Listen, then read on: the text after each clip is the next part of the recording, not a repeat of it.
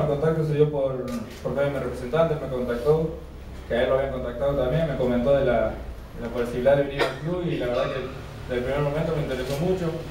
Sabemos que, que el fútbol costarricense está pasando por un gran momento, que es una liga muy competitiva, que había estado años anteriores por, por Centroamérica jugando y es una, una liga muy nombrada y, que cada vez se nombra más a nivel mundial, así que eso también me motivó para, para venir acá la exigencia que tiene por ser extranjero, ¿cómo la, cómo la asume? Usted le ha tocado jugar en diferentes países con ese rol, pero ahora un nuevo país, en otro fútbol.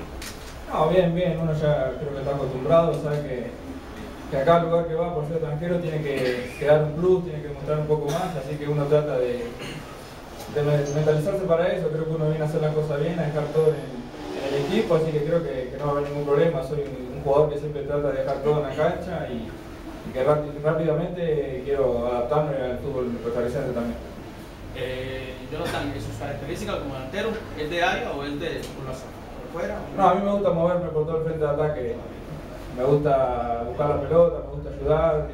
No soy un 9 de área, área ahí clavado arriba, sí me gusta moverme, pero siempre también trato de estar ahí para estar en el área también para la finalización de, de cada jugada.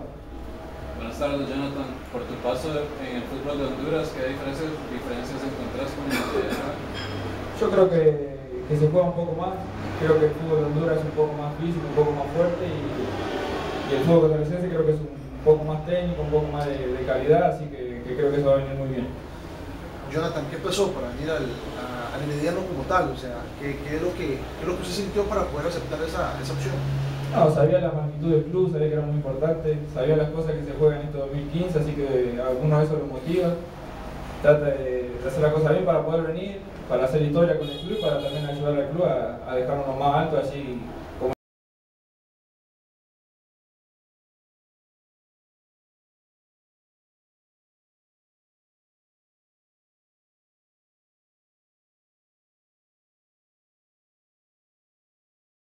me tocó jugar en un, país que había tantas canchas sintéticas, creo que, va a ser un cambio, pero voy a tratar de, adaptarme lo, más rápido posible, creo que no va a haber ningún problema.